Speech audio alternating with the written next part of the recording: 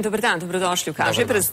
Dakle, deset godina mi ne možemo da se dogovorimo o tome šta bi trebalo da budu ti, ti neki okviri građanskog zakonika. Da li vas, na koji način gledate prvo na tu činjenicu, pa ćemo da idemo u detalje. Pa ja mislim da tu zaista je jedna velika materija koju će ovaj građanski zakonik ovaj obuhvatiti.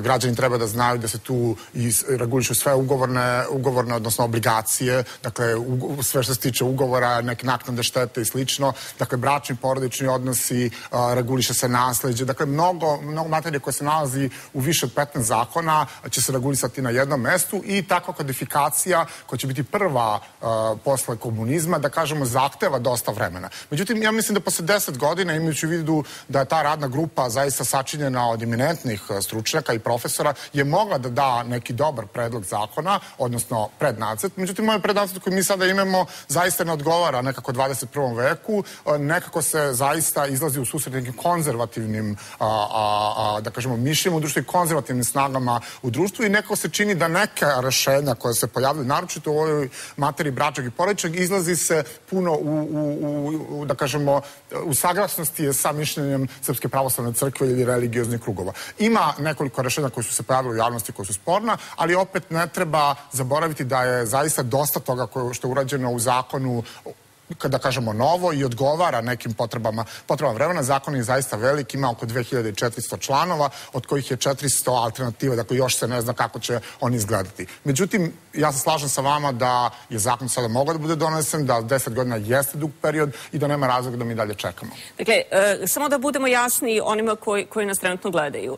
10 godina ne piše ista komisija i komisije se menjaju. Da li to znači da će već i sledeće godine opet ući neku novu komisiju i da ćemo mi opet narednih 10 godina kroz neke nove komisije da tražimo konstantno to zavisi. To zavisi naravno Ministarstva pravde. Mi kao građani nešto specijalno ne možemo da utičemo na sastav komisija. Tako se radi kada su neki drugi zakoni u pitanju kao što je zakon besplatne pravne pomoći koji čekamo oko 15 godina. Dakle, jako je, jeste s jedne strane problem oko komisije, ali s druge strane mi znamo kako neke stvari treba, treba regulisati i postoje neka rešenja koje mi? treba komisija A da... Ko, ko zna? Mi kad kažete mi znamo, ko, ko zna kako bi neka Pa postoje neke stvari koje su obaveza, obaveza Srbije. Naprimjer, kada govorimo o istopolnim brakovima koji su se pojavili kao jedno od pitanja uh, u javnosti, dakle, postoje četiri, pet pitanja koji se u, u, iz ovog zakona pojavile u javnosti, mi znamo šta je obaveza Srbije. Srbija mora da reguliša na neki način tu činjenicu da dve osobe istog pola žive zajedno. Dakle, nema tu uh, načina da vi sad to izbegnete ili da odjednom opet uh, govorite da je vamrčna zajednica samo zajednica muškaca i žene.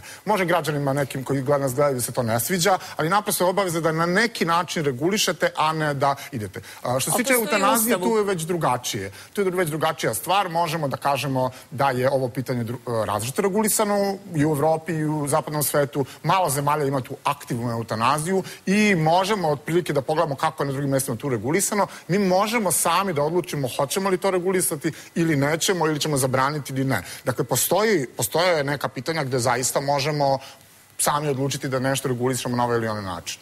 Ali evo sad kad pominjete eutanaziju, dakle, ako se traži alternativno rešenje, pa šta je alternativno rešenje za eutanaziju? Dakle, da, da ne postoji kao mogućnost.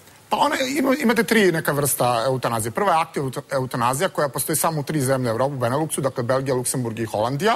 To je kada možete, dakle, ubrizgati inekciju, da kažemo, građanima onako naj, a, a, najjednostavnije. Dalje asistencija, dakle, asistencija u eutanaziji koja postoji jedna, u, a, jednom broju, u jednom broju zemalja Evrope, dakle, moglo bi to rešenje. I treća je pasivna eutanazija, dakle, kada, ne, kada isključite nekog sa aparata i dalje mu ne pomažete da se održava u životu. Dakle, to je jedan pasivan način eutanazije. Ili možete, kao što opet da kažemo većini zemalja, naprosto da ne dozvolite eutanaziju. Dakle, to su sve mogućnosti koje stoje na stolu i naravno treba pitati struku, treba pitati lekara i tako dalje, ali mislim da je to jako da kažemo, jedno od manjih pitanja u ovom zakonu. Postoji 2400 članova, postoji jako puno stvari koje treba rešiti oko svojine, oko toga kako će izgledati naknada štete. Evo, pojavilo se u jako malom broju natpisa u štampi, dakle, odgovornost za štetu, na primjer, ako vas ujede nečiji pas, da će, da će vlasnik biti odgovoran ako padne fasada sa zgrade, dakle, odgovornost. Ako se desi teroristički napad, da država mora prvo da, da, da vam da štetu. I mnogo toga što je bitnije za građane nego od samog tog eutanazije u koji su svi nekako okrenuti u ovom Jeste, dakle, to je jedno od pitanja e, prava istopolnih e, zajednica koje ste pomenuli, fizičko kažnjavanje maloletnika, surogat e, materinstvo, to su sva ta neka koje, o kojima su javnosti govorilo, ali ja želim da vas vratim na ovo koje ste sami pokrenuli kada je reč o braku istopolnih Pa mislim da što se tiče Kako se to, vi kažete, evropsko, dakle mi imamo zahteve određene, ali isto tako imate argumentaciju, e, brak je trenutno ustavom definisan Da. samo kao zajednica. Da, da, slažem se. Ne žene. možemo bez promjena ustava govoriti o braku istopolnih Pa partnera. to znači Međutim, da mi što ovim možemo... građanskim zakonikom trčimo pred rudu.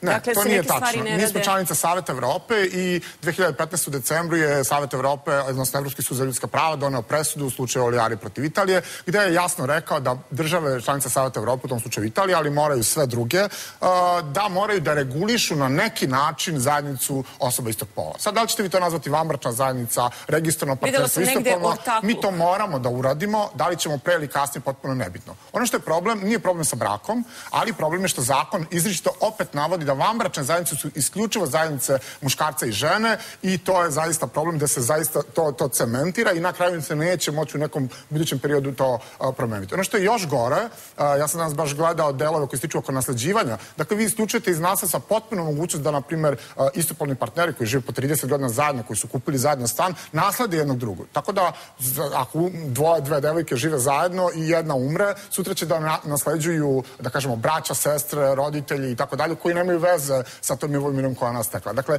zakonodavac čini mi se ne prepoznaje i članovi radne grupe ne prepoznaju ono što je zaista tendencija u 21. veku i ne, možu, ne mogu se nasilno zadržavati rešenja koja su od pre, ne znam, 50 godina i slično. Hvala vam na ovom razgovoru. Evo.